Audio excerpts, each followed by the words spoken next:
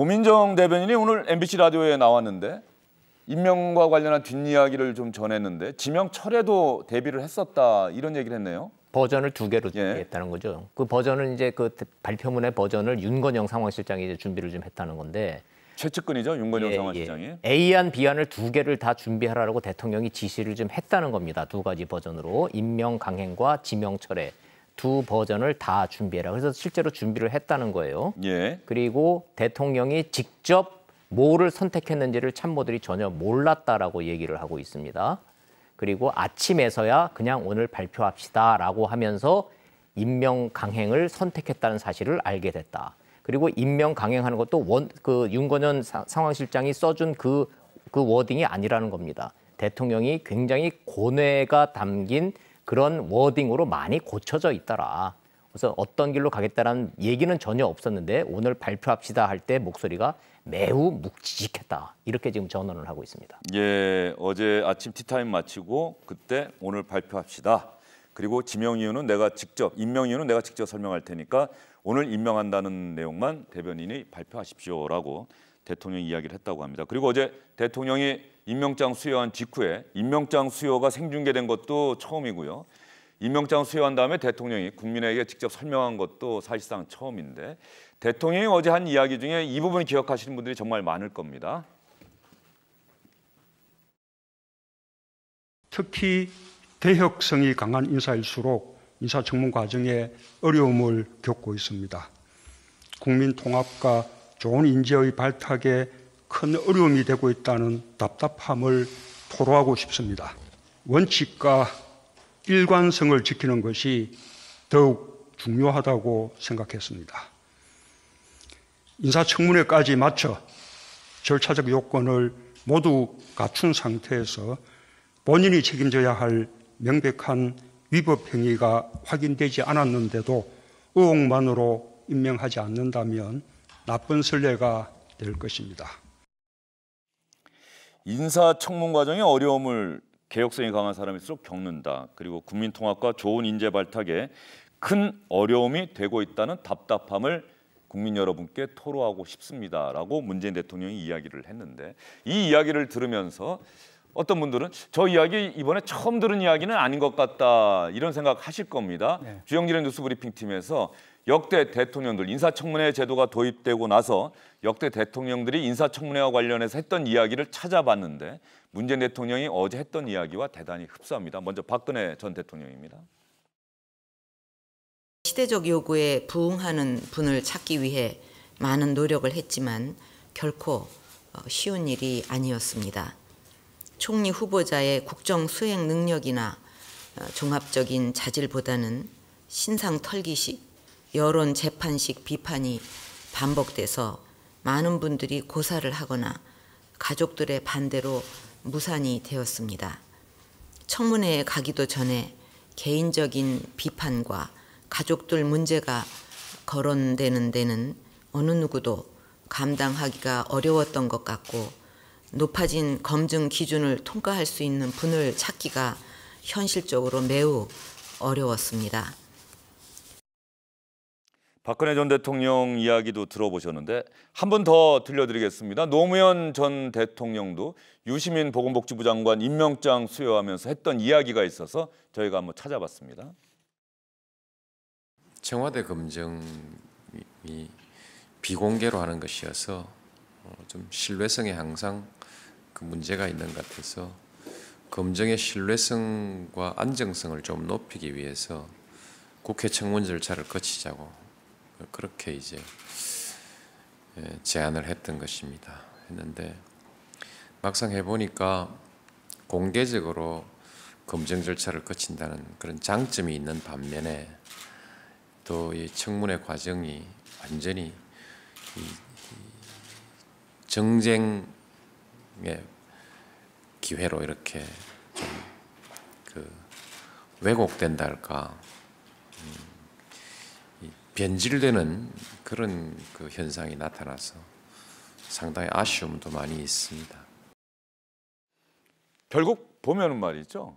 정권이 교체가 됐는데도 불구하고 대통령들은 네. 국민의 선택을 받아서 정권을 위임받아서 직접 국정을 운영하는 대통령들 입장에서 늘 인사청문회 제도가 뭔가 내가 쓰고 싶은 사람을 좀 못 쓰는 그런 답답함들을 계속 토로하는데 이게 바뀌지 않았다는데 좀 문제가 있는 것 아닙니까? 저는 보수 진보의 문제가 아닌 것 예. 같아요. 그 인사권을 가지고 있는 대통령으로서는 예기치 않은 여러 문제가 청문회에서 발생을 하니까 그 답답함이 있겠죠. 그야말로 이제 이걸 어떻게 할 도리가 없는 거예요. 게다가 이제 신상 털기라는 말도 나오고 이러는데 그 청문제도가 원래 그런 거거든요. 어, 그런 걸다 보는 거예요, 사실은. 도덕성도 보는 거고 능력도 보는 거고 전문성도 다 우리가 같이 스크린을 하는 게 청문제도입니다, 원래. 그렇게 이- 하라고 있는 제도예요.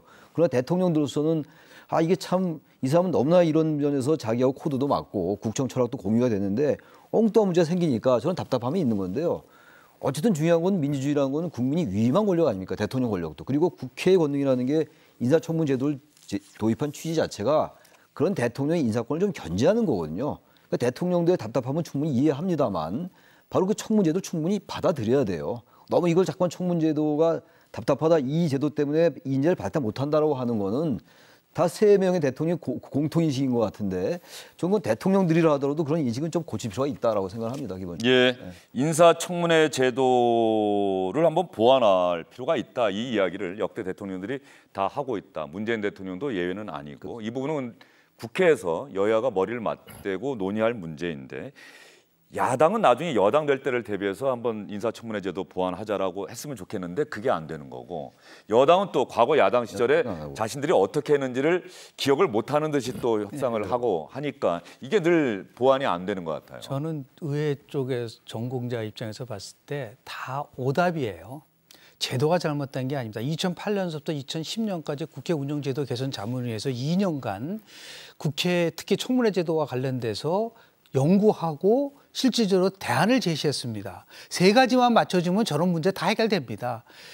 예를 들어서 청와대가 검증한 자료를 국회에 한번 제출해 보라 이거예요. 지금 도대체 뭐를 검증했다는 겁니까? 첫 예. 두 번째는 뭐냐면 인준 투표 해야 됩니다. 미국처럼 상임위에서 인준 투표를 하고요. 더 나가서 국세청, FBI, 공직윤리위원회가 개별적으로 검증해서 대통령한테 직보해야 된다. 마지막으로 꼭 지적하고 싶은 거는 도대체 청문 검증 준비단이라는 게 왜 필요합니까? 자기가 해야지. 이런 것들이 미국에서는 잘 구축이 됐기 때문에 청문회 제도에서 어떤 사람을 하는 것이 아니라 마음대로 못하는 거예요. 다시 한번 강조합니다. 어떤 정부, 다음 정부도 아무리 개혁성이 높아도 도덕성이 떨어지면 임명하면 안 됩니다. 도덕성이라는 것과 개혁성과 국회 협력성이라는 이 세 가지가 조화를 이루어질 때 좋은 후보가 되는 것이지. 지금 저는 대통령 말에 동의하기 어려워요. 개혁성이 어려울수록 그렇게 된다고 하는. 아니 개혁성도 있으면서 도덕성 있는 사람을 가져가야지. 그러면 또 개혁성만 있으면 도덕성이 떨어져도 된다는 얘기인가요? 그래 잠을 좀 드리고 싶어요. 예. 그렇지 않습니다. 자기 사람이 아니라 얼마든지 사람은 있습니다. 자기 사람, 자기가 필요한 사람이 아니라 자기한테 편한 사람을 임명하려고 하니까 저런 일이 나오는 것이지 대한민국의 인재가 얼마나 많은데 그런 면에서 봤을 때 제발 제도 탓하지 말고 제대로 검증하고 청와대가 그리고 탕평을 해서 많은 사람을 써야지 꼭 자기 측에 있는 사람을 쓰려고 하니까 인재가 없다는 거 아니겠습니까? 대통령이 얘기를 했었잖아요. 취임사에서 자기 사람이 아니더라도 천하의 인재를 구해가지고 하겠다. 그런 데를 했으면 이런 차단이 벌어질 수 있겠습니까? 저를 지지하지 않은 않더라도. 국민의 예. 대통령도 되겠습니다라고 그렇게 약속을 그, 했었죠. 그 약속대로 했었으면 되는 것이지 무슨 개혁성 있는 사람이 나오면 어렵다는 얘기를 한다는 것에 대해서 저는 결국 동의하기 어렵습니다. 아, 지금 그 말씀 듣다 보니까 제가 생각이 나는데 말이죠. 좀 짧게 한번 해보겠습니다. 지금 대통령이 조국 장관 임명하면서 본인의 위법 행위가 확인되지 않았는데 의혹만으로 임명하지 않는다면 나쁜 선례가 될 것이다라고 이야기를 했는데 오늘 한겨레 신문에 그런 기사가 났더라고요. 온노비 사건 기억하시죠? 김태정 법무부 장관, 김태정 법무부 장관이 임명되던 날 온노비 의혹이 제- 터졌고 그리고 보름 만에 김태정 장관은 김대중 당시 대통령이 경질합니다. 물론 직접적인 계기는 진영구 대공 공안부장의 이 설화 때문에 그 말 때문에 그 책임을 미루- 물어서 그 당시 김태정 법무부 장관을 경질을 하는데 온노비 의혹으로 악화된 여론이 상당히 큰 영향을 미쳤다. 그것이 정치인 김대중과 또 법률가 출신의 문재인 대통령의 차이가 아니냐 이렇게 분석하는 기사가 있던데요. 청문회라는 게요 위법 불법을 가리는 제도가 아니거든요. 위법 불법은 결국은 검찰 수사를 통해서 밝혀지는 거 아니겠어요? 그러니까 청문회라는 건 검증의 절차이기 때문에 많은 국민이 그걸 보면서 어떠한 민심의 흐름이 형성되는가를 보는 거거든요. 그리고 구체적으로 이제 국회가 인사청문 보고서를 채택하고 이런 거 아니겠어요? 근데 지금 아까도 얘기가 나왔지만 우리나라 이 청문 제도가 아주 정책적 요소가 굉장히 강해요. 현실 아닙니까?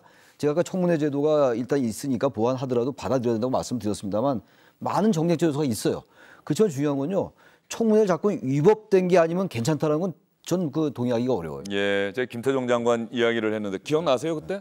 원일이요? 예. 기억나죠. 그, 그 당시에 어떠한 논리로 이게 과- 불법과 위법과 탈법과 여부를 따졌으면은 그 당시에 김태정 장관도 경질되지 않았을 것이고 온로비 사건의 결과가 어, 앙드레 김의 본명만 기억나고 나머지는 전부 다 잊혀지는 이런 우, 우, 우픈 현실로 기억되지는 않을 겁니다. 다만 그 당시에 김대중 전 대통령 시- 시절에는 어찌됐든 국민 감정법과 그 여론을 중시를 했었던 것이고 그대- 계속 끌고 가면은 국정 운영에 너무나 큰 부메랑으로 올 것이다라는 정치적 정무적 판단을 한 것이고 법률가 출신인 문재인 대통령과 불통 대통령으로 유명했던 박근혜 전 대통령의 워딩이 오묘하리만큼 일치하는 점에 대해서는 참 이상함을 느낍니다.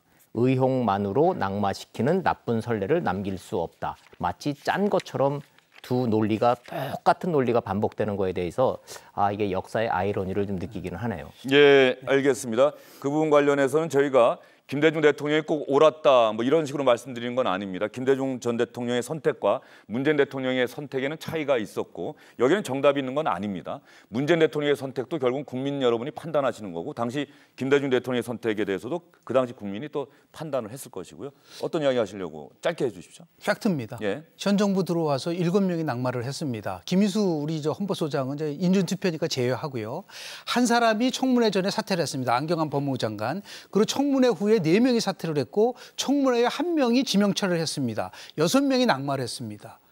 이분들이 그러면 어떠한 위법성이 나와서 사퇴를 한 걸까요?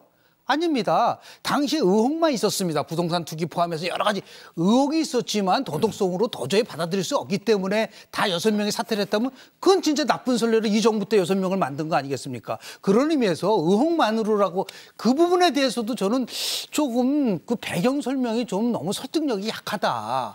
왜냐하면 그렇지 않습니까? 그리고 더 나아가서 명백한 위법 행위가 드러나지 않았다는데 이거는 검찰 수사도 아직 안 했는데 어떻게 명백한 위법 행위가 확인되지 않았다는 얘기를 할 수가 있을까요? 그런 예. 봤을 때 조금 설득력이 좀 떨어진다라는 얘기를 합니다. 예, 알겠습니다. 그런데 아마 조국 장관은 본인에 관련한 의혹이 아니라 이 가족에 관한 의혹이고 다른 이제 낙마하신 분들 같은 경우는 이제 본인이 어쨌든 아, 직접적으로 관련된 의혹도 있었고. 예, 그것도 알겠습니다. 뭐 예, 예. 그런 차이 때문에 네네네. 문재인 대통령도 좀 고민하지 않았을까 싶은 말씀을 드리고요. 아까 박근혜 전 대통령이 했던 이야기는 세월호 참사 이후에 정홍원 총리를 경질하고 문창극 전 중앙일보 주필인가요? 이분을 총리로 지명했는데 그 교회에서 했던 강연에 역사 의식에 문제가 있고 이런 것들이 문제가 되면서 결국 낙마하고 그 낙마한 다음에 인사청문 과정에서 참 이런저런 것들로 현실적으로 좋은 분 찾기가 어렵다라고 토로했다는 바로 그 부분 박근혜 전 대통령 이야기를 여러분께 들려드렸다는 점 다시 한번 말씀을 드리도록 하겠습니다.